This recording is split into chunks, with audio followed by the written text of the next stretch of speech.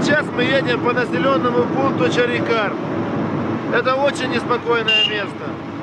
Отсюда и до самого Кабула начинается самая опасная зона на нашей трассе.